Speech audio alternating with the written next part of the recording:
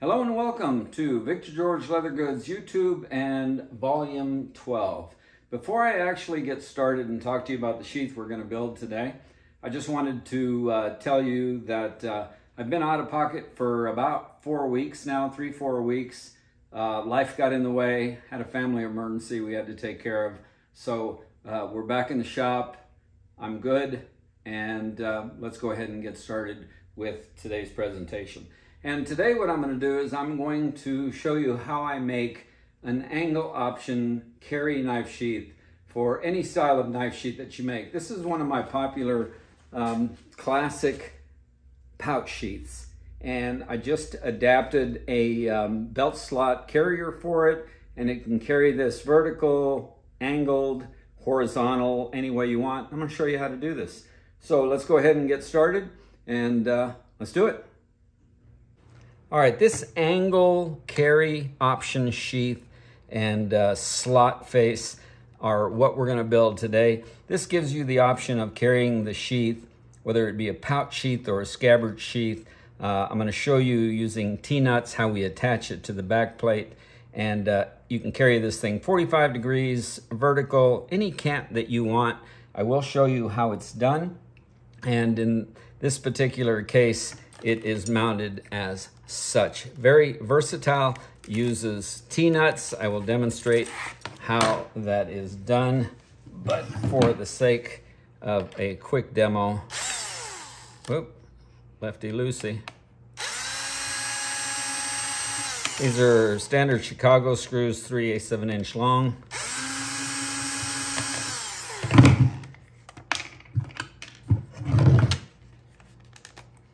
And uh, instead of a back flap, we're going to incorporate these two T-nuts.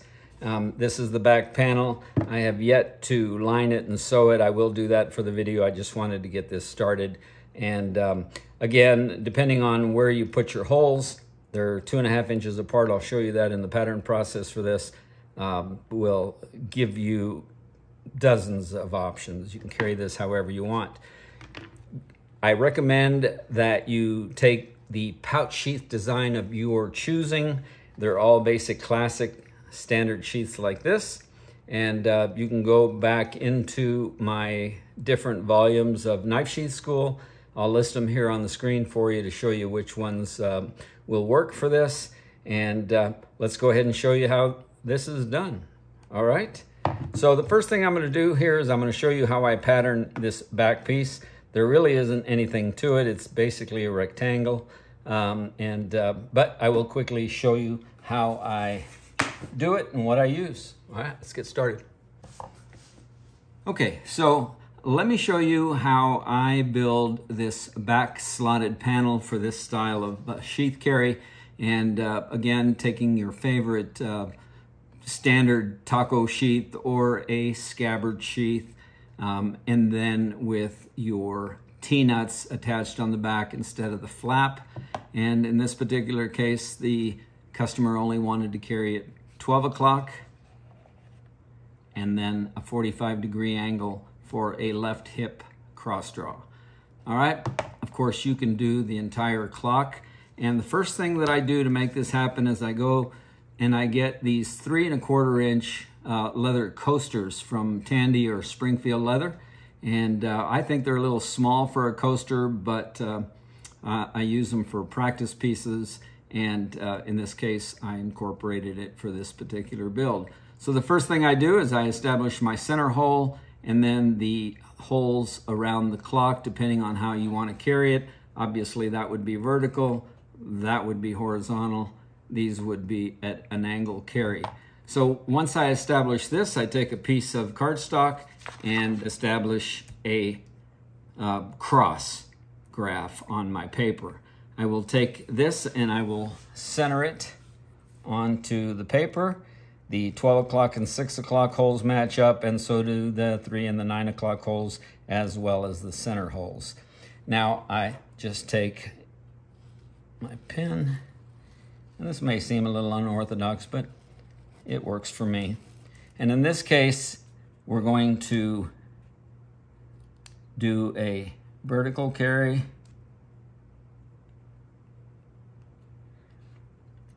and an angle carry at that configuration. And let's throw in a scout carry, completely horizontal. All right, now once we establish that, and these um, circle indicators or, or uh, punch indicators are 3 eighths of an inch from the edge of this three and a quarter inch leather coaster. All right, once I have that established, then all I'm gonna do is square up the circle and um, the way I do that is just like this. Again, using my graph ruler and keeping all my horizontal and vertical lines as true as I can get them. I will just square off the circle. And I'll do that here as well.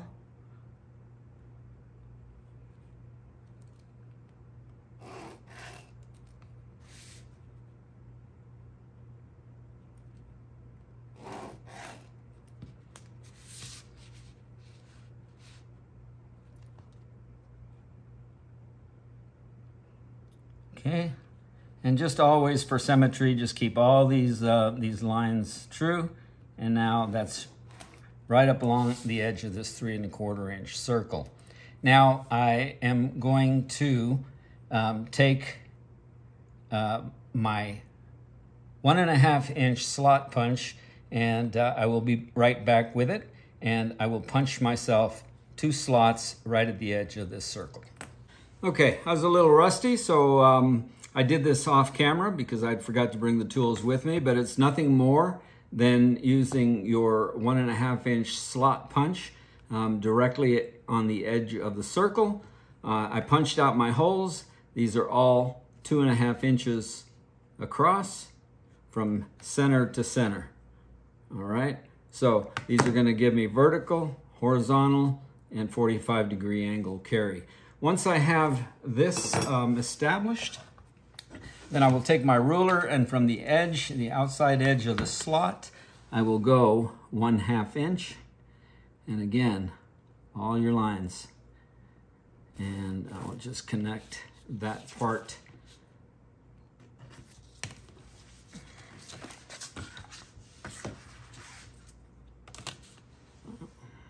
and one half inch from the outside edge of this slot All right, so that's my rectangle with the holes for the angle.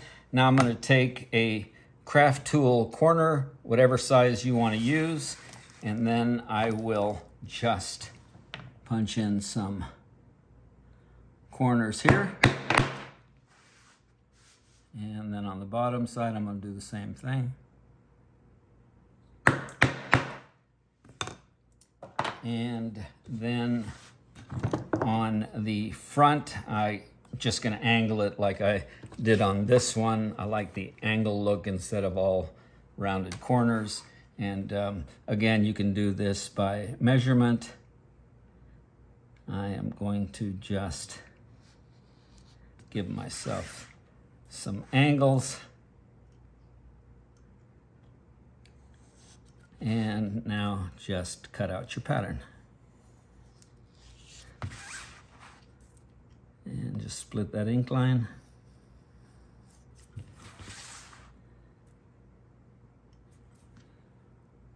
There it is.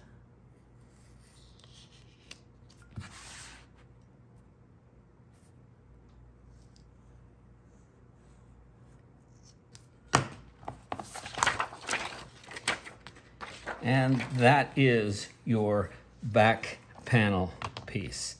It's that simple. I've probably made it uh, more complicated than it needs to be, but um, the way my brain works, that's how it works for me. So this is the back panel. Now, get yourself the pattern of your choice for your pouch sheath. And um, on my next clip, I'm gonna go ahead and build this in front of you and you can get an idea of how I do all these steps. Okay, a very simple project. I uh, wanted to start off different yet simple. So let's go ahead and break and get our supplies ready for our build. So we went ahead and did some preliminary steps. Again, after uh, volume 12, I'm assuming that you have some basic uh, leather craft skills. So we took our patterns that we had drawn and take your favorite uh, pattern for a fold over or a scabbard uh, type sheath and cut them out to leather. So all you really need for the pouch sheath is the pattern itself cut to leather, a good firm 8 to 9 ounce veg tan, a welt according to the knife you're going to carry, and um, that's pretty much it. I went ahead and established my stitch line. Um, it's a half inch welt, so a quarter inch from the edge. I used a five millimeter um, spacing pricking iron and uh, set that up for final assembly. Also, if you'll notice on the back of the sheath where the belt loop would normally go, I took and just marked at two and a half inches um, in the center of the back of the panel. That is going to be for our T-nuts. All right, so once you have that cut, then I take good firm eight ounce uh, veg tan as well, and I'll punch myself some holes. I happen to have a one inch uh, round punch and um, a T-nut that I use are a quarter inch shaft. The thread is 8 30 seconds, which is the same size as the Chicago screws. And um, that's what we're going to use. So I went ahead and made one up. And all it is, is you take your T-nut and you set it in the center of the round and you crimp the um, flanges so that they stay in there permanently. I establish a border about an eighth of an inch in and using a four mil um, stitching pricking iron, I went ahead and established my stitching line. And the way I do that is once I cut the leather out from the, the scrap, I'll take a one inch washer and I'll set it in the center. And uh, the reason for that washer is it gives me the exact center that I need.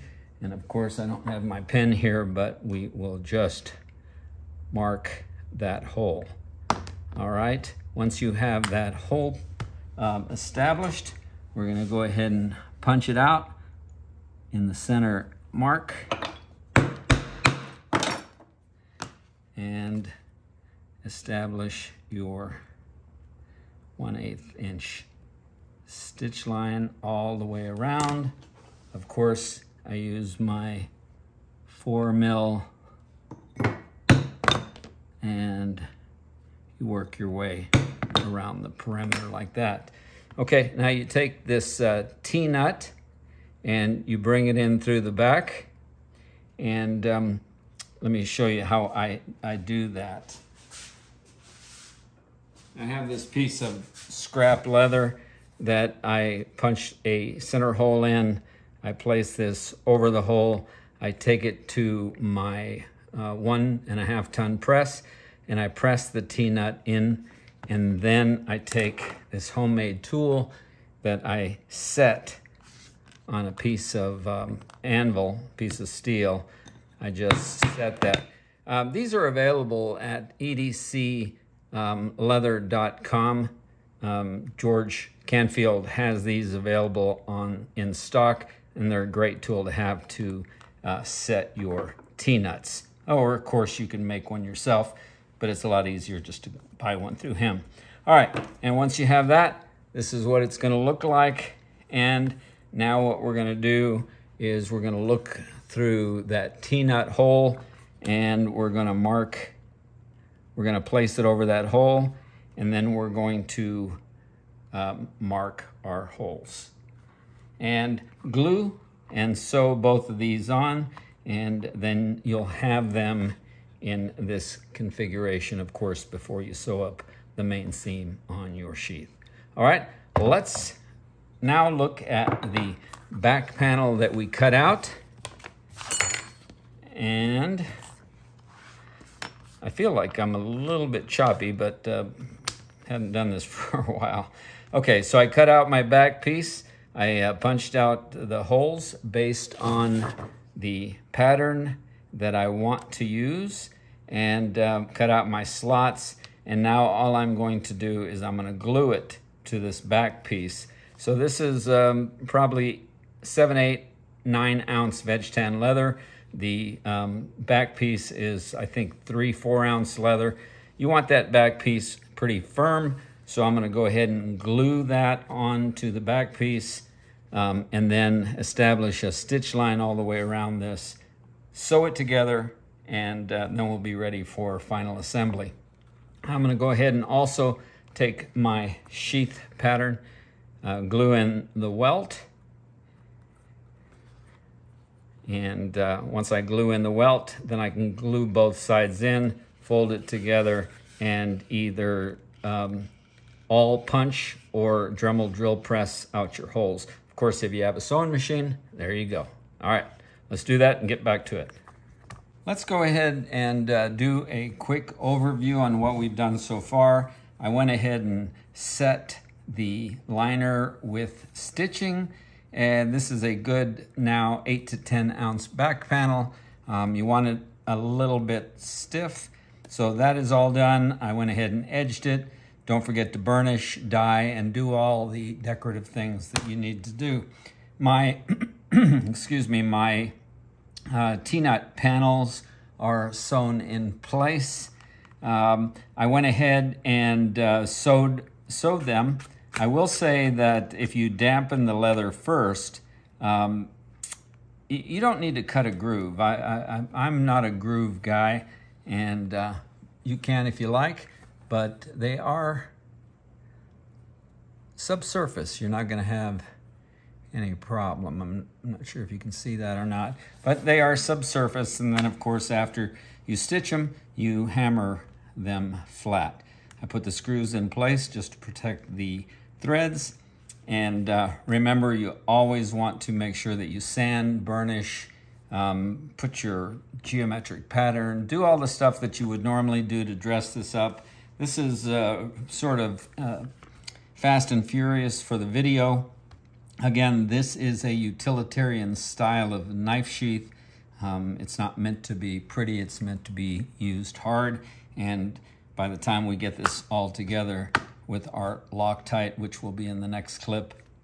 We're gonna do it. All right, so now I'm gonna glue the welt in place and on both sides, I'm gonna close up the main seam, sew it together, and uh, we'll be ready to put this thing together and get it to use.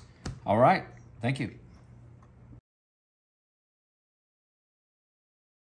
All right, so we are finished with all the sewing. Um, I did a video um, effort um, work on this. Of course, make sure you do everything to the best of your ability. All right, let's go ahead and put this together. Let's get our blue Loctite.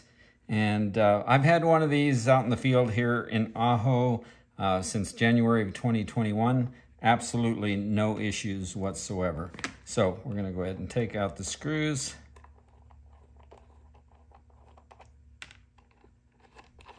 Guess I should have had this done ahead of time.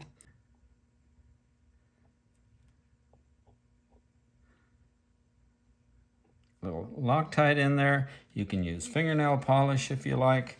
Let's go ahead and put this one at our 45 degree. I'm just going to push that thing on. And set that in there.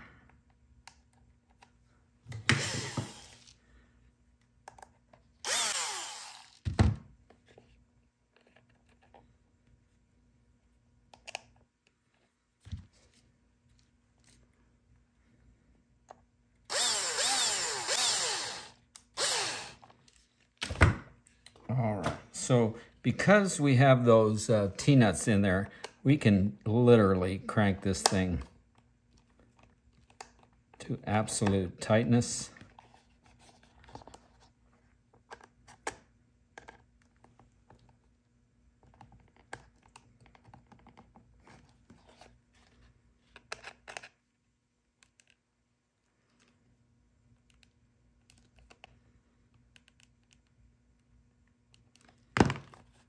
Okay.